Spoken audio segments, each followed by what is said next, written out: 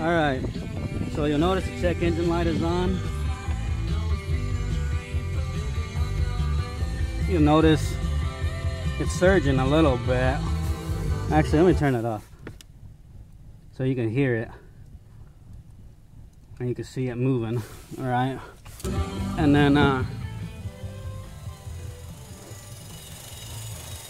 you can see the engine shaking. Hear it surging.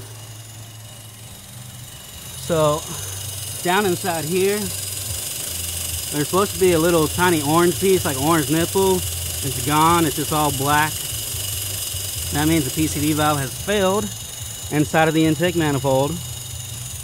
This, by the way, is not a PCV valve. If that ever fails, that is a diaphragm.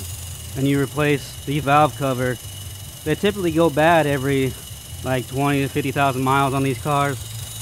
But I want to focus on this. So rather than replacing this intake manifold plus the labor, what I did is simply installed a one-way valve in this vacuum line. And now you can hear it's a lot smoother.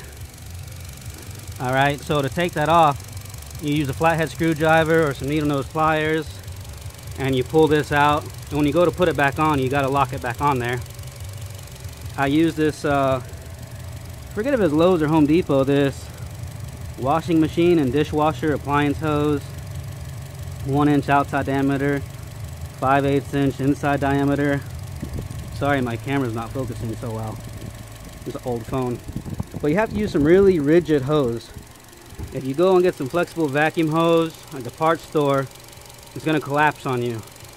So you have to use some very rigid hose to handle the vacuum pressure and uh, you may notice a check engine light with a code P1101 it'll be surging at idle and light cruising but when you're under boost it'll smooth out because under boost the air actually flows the opposite direction of the turbo. So this one-way valve will keep air from being sucked in at idle and light cruising but still allow air to flow to the turbo under boost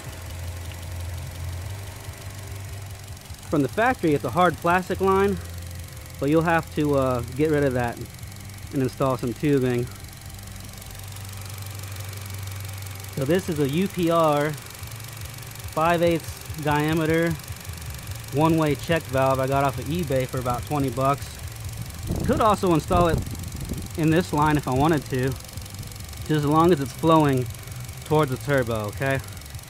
Uh, and if you want to know more about the purpose and benefits of an oil catch can on this 1.4 turbo. I'm going to cover that in the next video.